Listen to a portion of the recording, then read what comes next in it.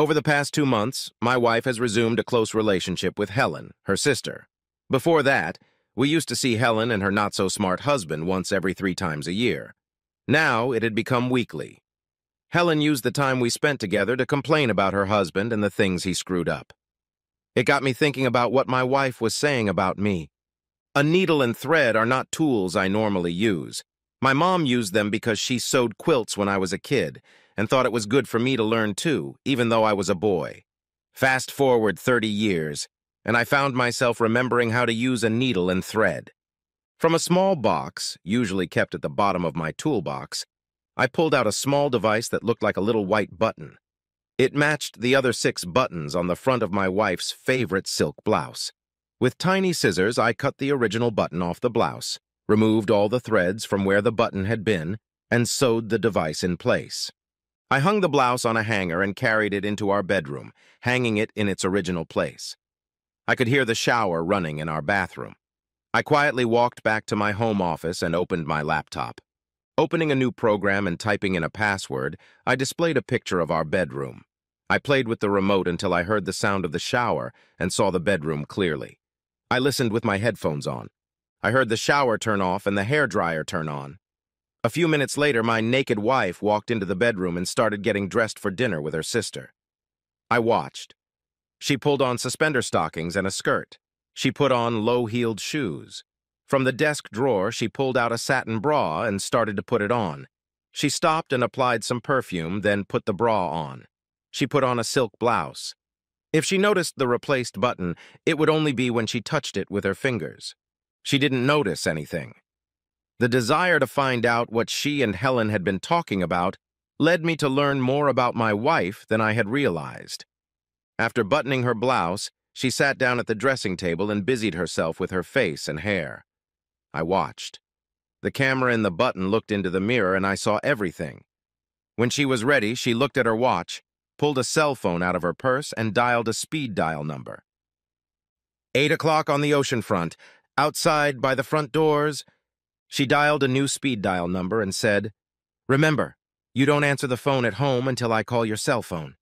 Thanks, sis. She tossed the phone in her purse and stood up. I pressed a few keys and iTunes, and Dave Brubeck appeared on the screen. Lisa walked into my office and kissed me on the cheek. I took off my headphones and asked, when are you coming back? No later than 10.30. We all have to work tomorrow. Don't wait up for me. Okay, say hi to Helen for me. She nodded and waved as she left the house. I turned on the monitoring program again. She turned on the car radio and sang along to a song until she was almost at the beach. She parked and pulled her cell phone out of her purse, and I watched as she turned it on vibrate and tossed it back in her purse. If I hadn't suspected her, it would have been hilarious. I wanted to turn off the computer and not know what she was doing there, but I couldn't stop watching. She got out of the car and headed toward the restaurant on the edge of the pier. We'd never been there. She didn't go inside, but stood in the shadows from where she could watch the front doors. I looked at my watch, 7.58 p.m.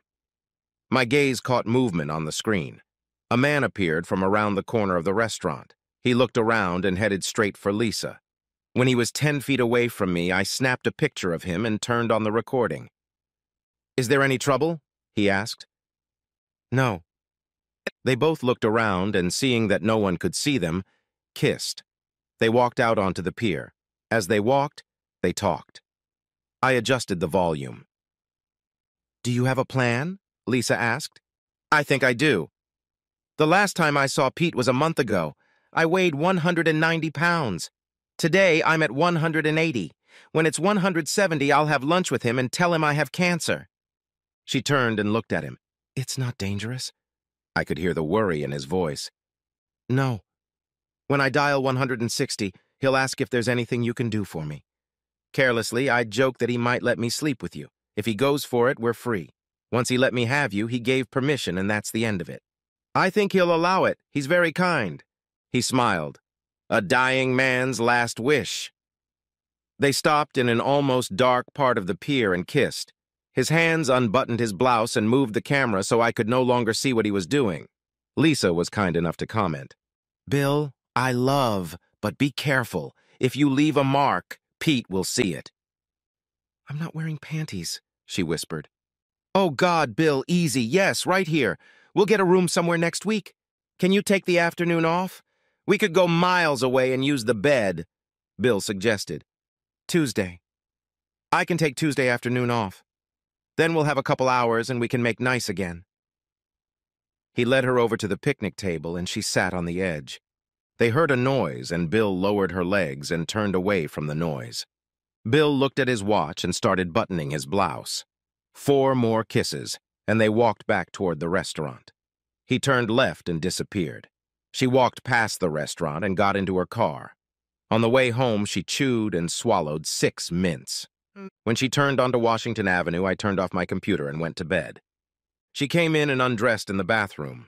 I heard the water running in the sink and then the toilet flushed. She came to bed wearing my t-shirt and panties.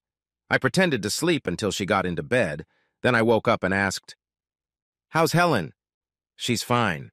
I think she's mad at Gordon, but she didn't want to talk about it. That's unusual. Angry at Gordon is all she talks about. She kissed me, rolled over on her other side, and fell asleep. I almost threw up. That mouth kissed me after Bill. I lay awake for over an hour, pondering. When I woke up, Lisa had already showered and dressed for work. I had completed my ritual and was ready for the time we would walk out the door together. At every opportunity throughout the day, when I wasn't heavily focused on work, I thought about my wife and my best friend. This was the guy who supported me at our wedding. I needed a plan. I needed to know why they were doing this to me. Had I been such a bad friend, such a bad husband? Did I deserve this? At lunch, I sat with six other guys. Most of them were about my age. I told them I had been loaned a tape and the show was about a guy who found out his wife was cheating. The guy in the movie took his wife to a psychologist, and by the end of the show, they seemed to be fine. That opened up the discussion. I learned things about the guys I worked with for 10 years that I didn't know. I was already married to Beth once, John Kingsley said. Three years later, I found out she had been doing her boss for five years. The whole time we knew each other, she was sleeping with her boss. We never went to counseling. I found out on Wednesday, and I had an apartment over the weekend and moved out. He'd been married to Alice for five years, but the pain was still fresh and alive in his voice. Sitting across from him was Luis, the oldest on our team. He was 42. If she agreed to be faithful when you got married, the first time she cheats, you're no longer married. All bets are off. It's like sports. When the ball leaves the court, it's over. So you're going to divorce her? Kick her to the curb? He looked up again and said, Why do I need a piece of paper? She wants a divorce, she can pay for it. I left. The day after I find out my woman is involved with someone else, you won't see me here. I'll be gone. Hank spoke up. The church tells us to deal with it. They talk about forgiveness. Don't you want to know why? Does knowing the temperature of the ice change the way it feels? Louis asked. I nodded. Bob Thomas stood up. Lunch is over, he said. We all went back to work. I wondered, who cares why Lisa is sleeping with Bill? If a pipe in my house is clogged, I don't care why, I just want it fixed. If there's a fire in the house, do I take the time to find out what caused it? Heck no, I just want the fire out. All day long, I languished. Then I called Lisa's sister. I called her at work. She answered professionally, and when she found out it was me, her voice changed. Friendly, not professional. Helen, I need your help. Lisa's birthday is coming up, and I want to make it special. Why don't we sit down and work something out? I feel like I need help. I will. When? Can you be free Tuesday afternoon? I knew Lisa would be busy. Uh, sure. Where shall we meet? Any good restaurant near where you work. Quiet, well lit, and good food. Got it. How about on the beach? The restaurant is actually on the beach where the chairs are in the sand. That's great. Noon? I'll write it down. Don't write down lunch with Pete. If Lisa sees it, she'll find out and ruin the surprise. I'll put lunch with Sandy. She took 10 minutes to tell me what her husband was up to. They'd been together two years longer than we had, and he'd messed up so many things that I was amazed how that man could walk across the room. And yet... Helen stayed. Something was keeping her in a relationship that clearly wasn't working. I volunteered to work on Saturday. Sunday, I took care of the housework. In the back of my mind, I knew the house would soon be on the market. Lisa tried to talk me into going to the movies Sunday night. She wanted us to have dinner and go to a movie about an hour and a half away from the house. The same movie was playing at a theater less than 15 minutes away. When she told me what restaurant she wanted to go to, I knew it would be at least $30 for the entree, and she would want wine and dessert. I asked if it was her treat or mine. Nah. She decided we could stay home and watch something on cable. We stayed home and watched a movie on cable. It was called Breaking Up. When it was over, I asked, why would they get married? They were acting like two married people fighting over nothing and trying their best to ruin their own lives. Men don't know how to listen. She said it with a tone and body language that said what she said was more than an opinion. To her, it was a fact. There had to be some straight men who could listen, otherwise there would be 80% lesbians in the world. With the invention of silicone, I bet the percentage has gone up, Lisa said. If our marriage broke up, would you want to remarry me? She stopped. She was holding two empty Diet Coke cans and an empty popcorn bowl and was heading for the kitchen. She turned and asked, What-oh? Answer my question. Lately, I've been getting the feeling that you're not happily married to me. If not, let's sell the house, split the money, and kiss goodbye. Her eyes filled with tears. I thought you were happy. I thought so too, until I felt you'd rather be somewhere else. I wasn't the one who went to work yesterday, Saturday. A good distraction tactic is to shift the conversation to a single incident instead of staying on topic. Yes, I was the one who worked yesterday. You didn't say anything about doing something on Saturday together. Last Saturday, you went to your sister's house for the day, then you and her had a late dinner during the week. That tells me you'd rather be with her. Honestly, that's fine. Maybe you could move in with her and Gordon. I know he'd want you around. That's disgusting. I don't like Gordon at all. Maybe you and Helen can buy imitators and batteries together and do each other without men. You don't understand. I sat down on the couch. I patted the seat next to me and said, Sit here and explain it to me. I have a master's degree in science. Maybe I can understand if you tell me simply enough. Now you're being sarcastic. No, I want to understand. The only person I know who can help me understand is you. I can't think of anything on this planet or any other that would be as important to me as understanding it. I patted the couch again.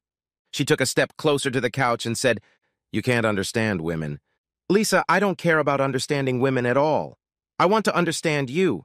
I don't care why Helen stays with Gordon. I don't care why movie stars stay married or not. I don't care why other women do what they do. I care about you and I care about me. We saw the movie and for some reason it upset you. I don't want to live as a lesbian with my sister. I don't want to sell the house and kiss each other goodbye. She walked into the kitchen. I could hear the popcorn going into the trash can, the cans going down the garbage chute, and the bowl going into the dishwasher. She walked through the living room and into the bedroom. Twenty minutes later, she silently went to bed in my t-shirt and panties. I was already there, lying on my back. She turned off the light and turned on her side, turning away from me. I'll call the real estate agent in the morning. I rolled over onto my side and didn't say anything until morning. She didn't say anything either. When I got to work, I called a realtor I knew and pointed out our house. I had a long lunch and met her at the house. We put a good price on it. She explained to me what I had to do to raise the sale price, and we parted after shaking hands. As I backed out of the driveway heading to work, I saw a for sale sign on the front lawn. Lisa leaves work a half hour earlier than me. I turned off my cell phone when she left work. Getting out of the car, I drove home, obeying all the rules of the road. As I turned onto our street, I saw a realtor's sign covered by a green plastic trash bag. I smiled. I parked in the garage, walked back into the yard, and removed the bag from the sign. I walked in the back door. Lisa was in our bedroom, face down on the bed. I walked into the bathroom, closed the door, and took a leak. I blushed, washed my hands, and opened the door. Lisa was sitting on the edge of the bed, on my side. I kept walking. When I got to the door, she said, I want to live with you. I don't believe you. I kept walking. In the kitchen, I got a Diet Coke and a small package of cookies. In the living room, I sat on the couch and turned on the news. I never watched the news. Lisa came in and sat on the other end of the couch. Two minutes passed with only noise coming from the TV. Can we talk? She asked. About what? I don't want to sell the house. I don't want to kiss you goodbye. Who do you want to kiss? I asked, turning to face her. I noticed her complexion change for a moment before she pulled herself together and said, No one. Okay, I'll leave it at that for now. Do you want to live with me? I'm your wife. Of course I want to live with you. You're not helping me understand you. You act like there's something wrong with me and maybe it's contagious, and then you tell me you want to stay. Am I treating you badly? You're not treating me badly. It's worse than that. You're not treating me badly at all. You don't want me to leave and you don't want me to be your husband. You could save us, but you can't bring yourself to do it. She sat and watched me get up off the couch and walk to our bedroom. I grabbed another pillow and blanket, carried them into the spare bedroom and threw them on the bed. I knew she knew what I was doing. I went back into the bedroom and closed the door behind me. I took a shower and went to bed. It wasn't even nine yet. At almost ten, Lisa opened the door and walked in. I usually sleep facing the door, so I saw her come in right away. She was naked. This was serious. In the dim light, her nakedness still lit the fires. She crept quietly to her side of the bed. She lifted the blanket and started to climb in. Stop. I turned on the lamp and turned to her. For a whole month, you've come to bed every night in your panties and a t-shirt. You sleep with your back turned away from me, and only once this month have I gotten a good night kiss. I put a pillow and an extra blanket in the other bedroom. You want to sleep in this house? Sleep there. I want to sleep with you. Tough. I made a mistake, but I have no idea what I did. I made a mistake with you. You know what the mistake was? You've been punishing me for it for a while. But you don't tell me what I did or didn't do. I'm left with only one choice sell the house, get a divorce, and let you be happy with someone else. I don't want to be happy with someone else, and you don't want to be happy with me. I give up. I correct my statement that I have only one choice left sell the house, get a divorce, and let you be unhappy with someone else. I got out of bed and turned on the overhead light. I looked at Lisa and asked, Do you love me? Up until the moment I asked, she was looking straight at me. The moment I asked her, she looked away for a second. I had an answer. In that moment, I realized that if we weren't married, if we hadn't committed to love, we would be having sex. She stood exactly as she had been standing since I said stop. I lifted the sheet and blanket and said, Get on the bed. I knew we had condoms in the other bedroom for our guests, so I went and got them. When I returned, she was lying on her back in bed. Her eyes looked scared. I tossed her the condom. You came to bed naked to convince me with sex to stay, not to sell the house and keep telling yourself you love me. Okay, here's your chance. We slept together. From the bathroom, I tossed her a box of tissues and took a shower to clean myself up. I turned off the light and got into bed. If you want, you can sleep here tonight. But first, you have to answer one question. I turned on the nightlight again, turned to her and asked, Will Bill pay for the hotel room tomorrow afternoon, or will you? Her eyes widened and she burst into tears. She ducked her face into her pillow and continued to cry. I turned off the light and went to bed. About ten minutes after I turned off the light, Lisa got up and quietly walked out of the bedroom. She didn't come back. She remained silent. I did sleep, but it took a while to fall asleep. I met Helen for lunch. I could tell by the look on her face that Lisa hadn't spoken to her. We sat at the table farthest away from everyone. We ordered, grabbed our drinks, and knew it was still 20 minutes until lunch. Thanks for coming. I'm not going to throw Lisa a birthday party. But you said... I lied. I'd like to throw her a party, but I can't. Lisa's having an affair. I paused. There was a look of shock on Helen's face. Don't look shocked. It wasn't that long ago that she asked you to cover for her. Stay off the phone until I call your cell phone. I didn't know what she was doing. Oh, okay, let's say I believe you. Knowing that you now know that your married sister is walking around on the side, what are you going to do? Are you sure? I have video and audio. You want a copy? Oh my God. I don't know what to do. She's meeting her lover at the hotel tonight. Her lover is my ex-best friend, Bill. I spent some time wondering why until I realized it doesn't matter. What matters is that she can't tell me she loves me. What matters is that damn Bill is more important than our marriage. A for sale sign hangs on the front lawn of our house. We're done. They brought us lunch, but we didn't eat a bite. I paid the bill and walked Helen to the car. I know what I'm going to do, since you asked. I don't have a sister anymore. She's behaving in a way that I don't want her in my family. And I'm going to talk to Gordon tonight. After talking to you, I can see that all is not well in my house either. She rose on tiptoe and kissed me on the cheek. I held the door open for her as she sat down. Can we stay in touch? You have my number. I nodded. She drove away. I went home and started moving Lisa's things around. First, I moved her clothes into the other bedroom, then her dressing table.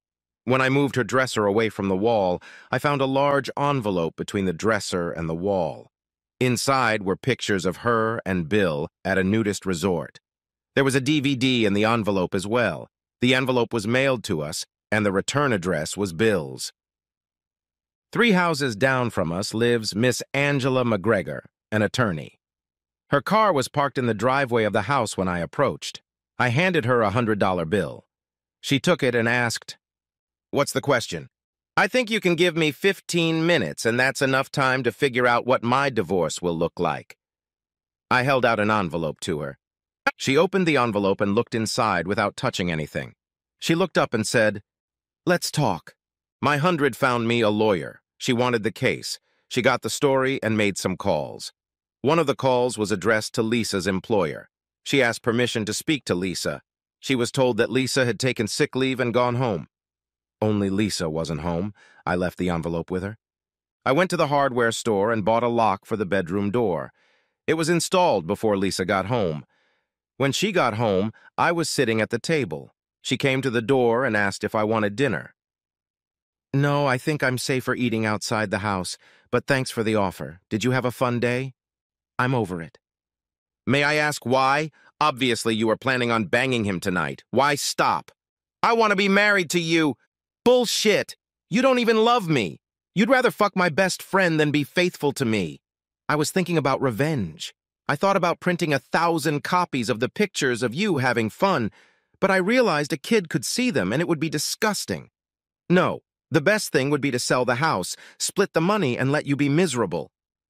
She burst into tears and ran down the hall.